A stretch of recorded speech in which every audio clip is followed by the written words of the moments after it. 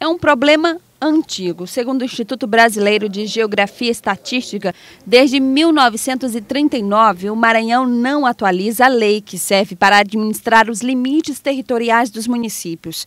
O que deveria acontecer na década de 40. Nós temos um marco territorial dessa questão no Brasil, ele é de 1938.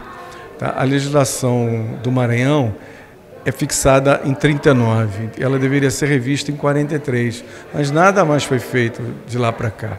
Então, todos os municípios do Maranhão que foram criados depois da década de, de 30, do final da década de 30, trouxeram esses problemas a reboque, esses, essas inconsistências de, é, no próprio descritor do, dos seus limites. Né? Sem solução, o problema só foi aumentando e chegou num ponto insustentável.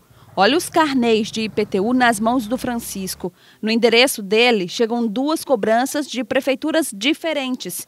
Ele mora no Jardim Araçagi 2, região do bairro Coatraque, e mesmo com quase 30 anos vivendo no local, ele não sabe ao certo a quem recorrer. Desde que aqui cheguei, que convivo com esse problema, não sou eu, toda a população, todos os moradores dessas áreas aqui, que essas áreas que sofrem aqui hoje tem aproximadamente 50 mil pessoas que estão nessa situação de receber carnê de São Luís, São José de Omar e em alguns casos recebe até de Passo do Lumiar. Enquanto essa questão não é resolvida, a situação das ruas é justamente esta que vocês estão vendo, o asfalto totalmente deteriorado. Segundo os moradores, o pouco asfalto que ainda resta foi colocado por uma empresa privada. Pois é, mas na Assembleia Legislativa do Maranhão, a ideia é que essa realidade seja em breve transformada.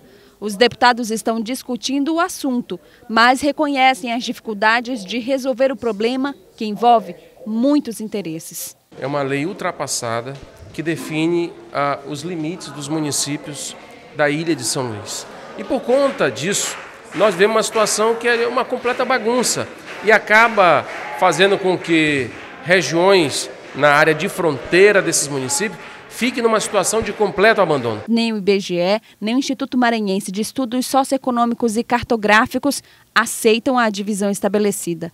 Enquanto isso, a população está desanimada. Hoje a comunidade aqui não acredita mais em solução para isso aqui não.